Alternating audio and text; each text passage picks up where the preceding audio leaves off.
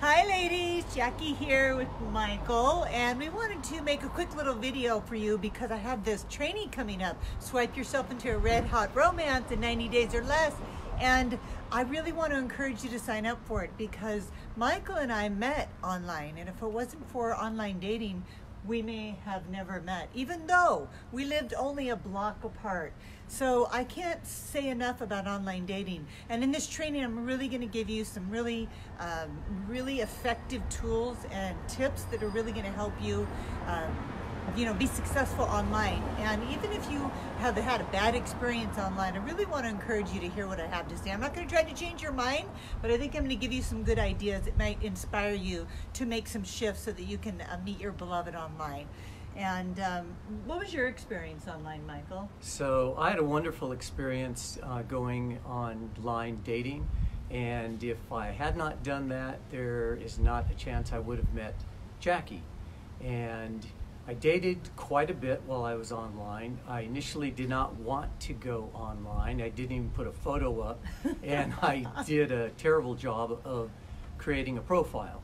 But I found that once I put photos on there and and had a full profile, that I started to meet women and started going on dates. What? Um, you went on dates before you met me? Can so you believe that? I had quite a few dates, but nobody stood out like Jaki. Jaki had a completely different energy and stood out from all the other women uh, that I had dates with. She, well, uh, you you taught me a lot of things when we first met. You taught me boundaries. You taught me, um, oh, all kinds of things about um, communication. communication responsible communication. You just had a whole different energy about you. So oh, I would highly recommend that you go on, go online. Yeah, and really specifically sign up for the webinar because um, for the reasons that Michael said, there was some differences. I mean, he's dated plenty of women, right, and, and attractive women, but one of the yeah one of the really important things is we've been together now for seven years, and many of you may go out on dates, many of you may attract a man, but what you want to do is keep a man.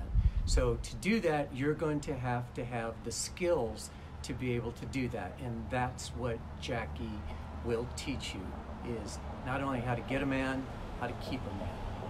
Yeah, how to keep them. That's really important. As equally as important as attracting them because after seven years, you better have some skills under your belt if you want to be in a happy, harmonious relationship like we are. So I hope you'll join me on Tuesday at 4 p.m. Pacific for my live um, video webinar where I'll connect with you and talk to you, answer questions, and teach you some of the inside skinny on how to get online and be successful. So check out the link in the box. I'm going to drop that in there. You have it registered this is your opportunity before it's too late.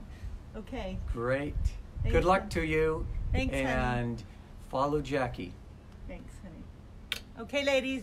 See you on Tuesday at 4 o'clock Pacific. Bye.